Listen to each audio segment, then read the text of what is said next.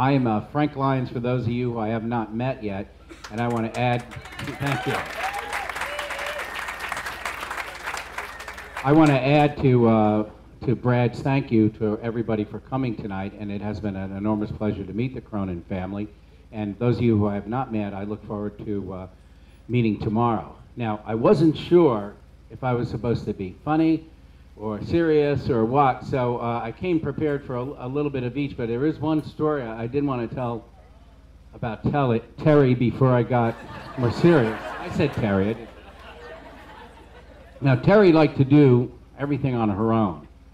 And she told me one day, I don't want an allowance anymore. I'm going to go out and earn my own money. I said, well, that's cool. How are you going to do that? She said, I'm just going to go around the neighborhood and find odd jobs, and I'm going to earn my own money because I'm not going to take an allowance from you anymore. So she came back after a day of canvassing the neighborhood, and she said, Mr. So-and-so, who I'm not going to mention, told me I can paint his porch for $50. And I thought to myself, that's a huge wraparound porch. That's I said, that's going to take you all day. She said, no, it's only going to take me a half an hour. I said, all right.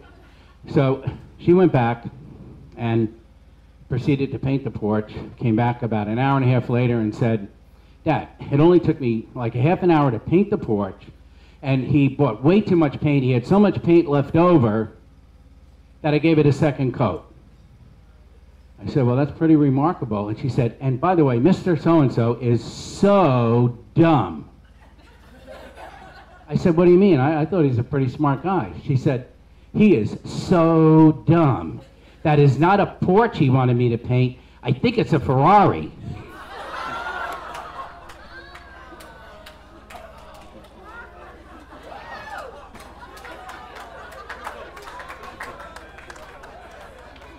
All right, that's my funny part.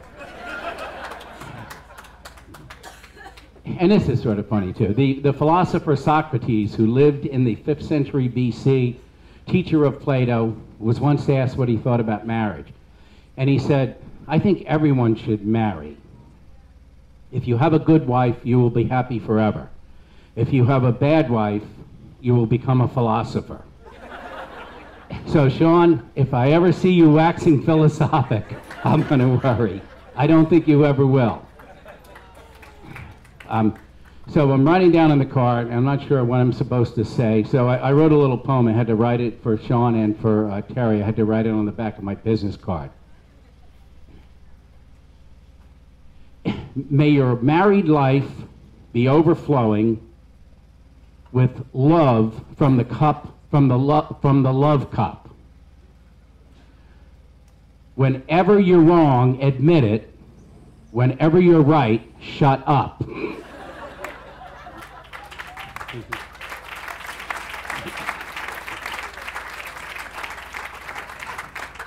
It's hard for me to say I've ever seen a finer young couple more in love.